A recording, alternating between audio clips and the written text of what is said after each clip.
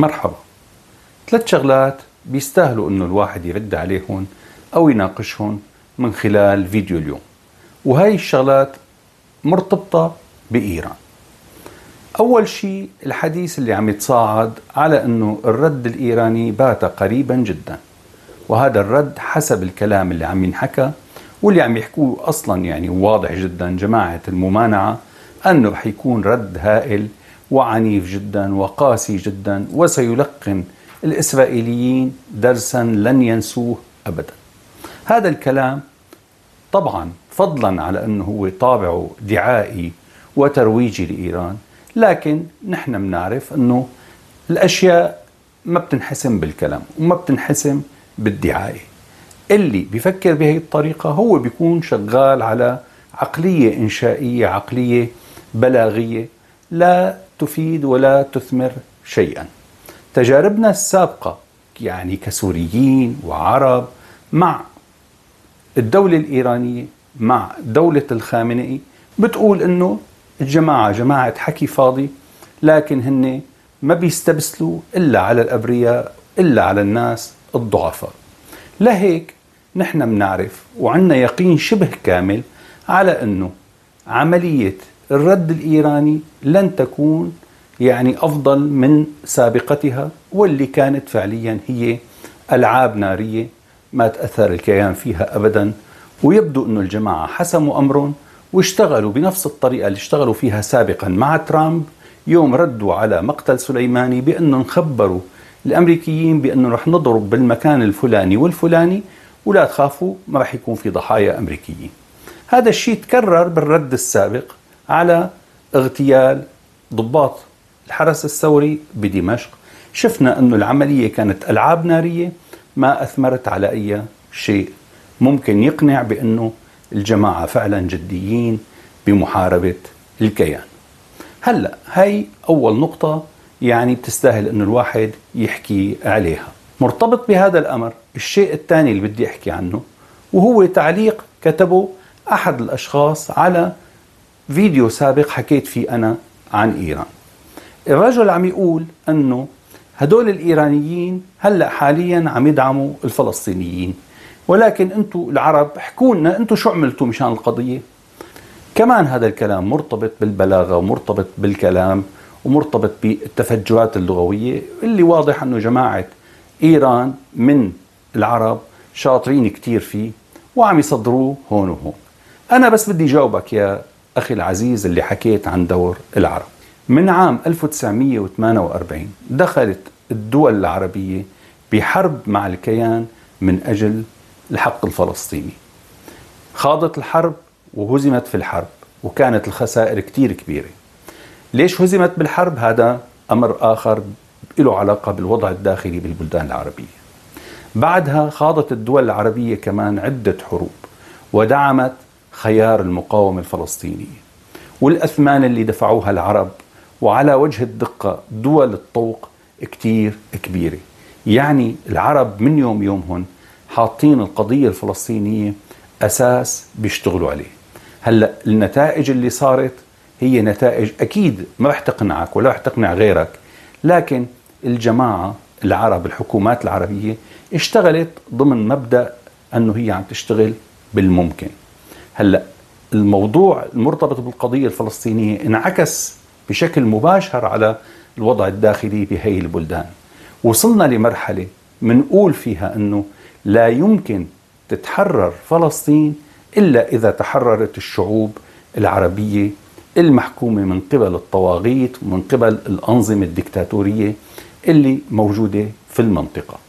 وإذا كمان حبيت تعرف أكثر القضية الفلسطينية كانت جزء أساسي من برنامج ثورات الربيع العربي اللي حاولت أنه تعمل تغيير في المنطقة لصالح الحريات ولصالح أنه هي الشعوب ما تضل قراراتها معلقة بإيد شخص أو شخصين أو ثلاثة مرتبطين من تحت الطاولة بمراكز القوى وبيشتغلوا لخدمة سياسات القوى العظمى بالمنطقة.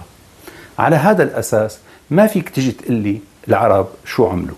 لحد الآن نحن عم ندفع ضريبة إلى علاقة بالقضية الفلسطينية. وهي ما منية من العرب لأنه الفلسطينيين عرب وهن أخوة لكل الشعوب الموجودة في المنطقة. وهذا الكلام ما إنشائي لأنه بسوريا تحديدا الدم الفلسطيني صار مثله مثل الدم السوري لا بل امتزجوا مع بعض بمخيم اليرموك ومخيم فلسطين وبكل المخيمات اللي واجهت لما انتفضت.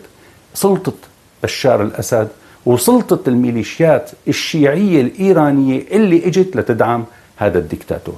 على هذا الأساس يفضل أنك أنت ما تحكي بهذا المنطق وتروح تراجع نفسك وتشوف قديش أنت مضحوك عليك من قبل الدعاية الإيرانية اللي ما بتوفر شيء بتستغل أي شيء مو من أجل غايات ممكن تتحقق إنما لغايات وهمية أسطورية أصلا موجودة فقط براس الولي الفقيه. وهذا الشيء الثالث اللي بدي أحكي عنه اليوم. أنتم بتعرفوا أنه في إمبراطوريات طلعت وانتهت. منها الإمبراطورية القيصرية الروسية. بدروس التاريخ المدرسي كانوا يعلمونا أنه القياصرة كان عندهم حلم بالوصول للمياه الدافئة. شو يعني المياه الدافئة؟ يعني بشكل أساسي البحر الأبيض المتوسط اللي هو مركز تلاقي كل الحضارات ومطمع لكل القوى المتنفذة بالكوكب. وهذا الحلم ورثوه البلاشفة لما أسسوا دولة الاتحاد السوفيتي. الوحيد اللي منحهم هالفرصة هو حافظ الأسد. أعطاهم مركز على المتوسط من أجل صيانة السفن بطرطوس. ولما ثار الشعب ضد بشار الأسد كمان من أجل أنه يدافعوا عنه أعطاهم قاعدة حميمين ضمن الصفقة اللي رتبها قاسم سليماني واللي أدت للتدخل الروسي بمجريات الحرب حرب سوريا واللي أدت في المحصلة إلى بقاء نظام بشار الأسد. يعني الجماعة حققوا حلم الأسطوري بأنه هن يكونوا موجودين على المتوسط كقوة وطيارات وسفن إلى آخره. لكن بالمقاييس العسكرية الحالية وبزمن الصواريخ عابرة للقارات والصواريخ الباليستية يعني ممكن هي القاعدة يتم اصطيادها بسرعة. هذا في حال صار في حرب عالمية. يعني الهدف هو هدف سهل قاعدة حميمين بالنسبة للقوة العسكرية اللي ممكن تواجه الروس. ما رح تكون مشكلة كبيرة. خاصة أنه إحنا عم نشوف حتى حاليا ضمن الحرب الحرب التقليدية كيف أنه الروس ما عندهم هالقوة الفظيعة بحيث يحموا حالهم حتى على الأراضي الروسية وشفنا من يومين كيف الجيش الأوكراني دخل لمنطقة كورسك واحتل منطقة نسبيا هي واسعة ضمن الأراضي الروسية هلأ هل الروس فقط عندهم هذا الوهم؟ عندهم حلم إمبراطوري بأنه يكونوا هن إمبراطورية وعندهم مركز متقدم بالمياه الدافئة على شاطئ المتوسط؟ أكيد لا.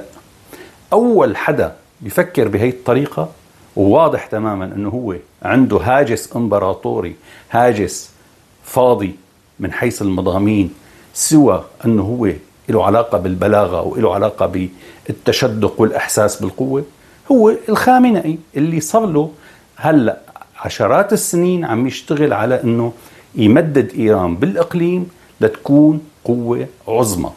قوة عظمى مسيطرة سياسيا وربما عسكريا على أربع بلدان على العراق على سوريا على لبنان على اليمن. لكن من الناحية الفعلية كل قوة إيران هي يعني العنجهية بتسقط بليلة ما فيها ضوء.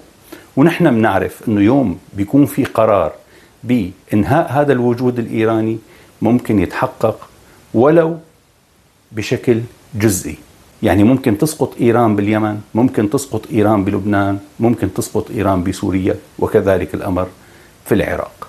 هلا رح يجي حدا يقول لي لا هذا الكلام مو صحيح. له لا صحيح لأنه فعليا إيران هي قوة احتلال غير مرغوب فيها حتى من قبل دول الإقليم ومن قبل القوى العظمى.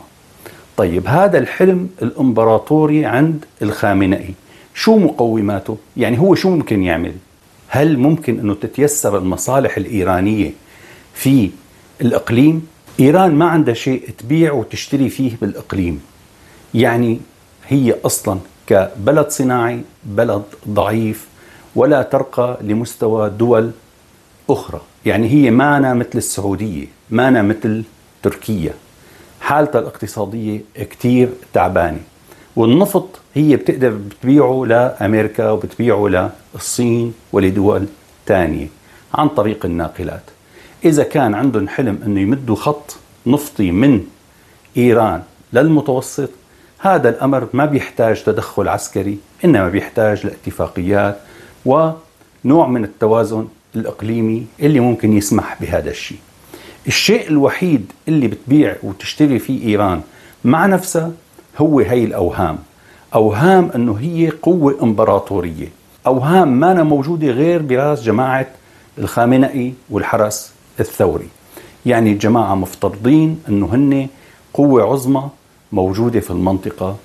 يعني بيقدروا يهاجموا الكيان بيقدروا يفرضوا إرادتهم على بعض الحكومات في المنطقة والجماعة هلأ حاليا حسوا بأنه اكتملت يعني صورة الإمبراطورية من خلال قاعدة عسكرية على المتوسط. اليوم في تقرير على موقع تلفزيون سوريا عم يحكي عنها على أنه هاي يعني مكان متقدم للجيش الإيراني.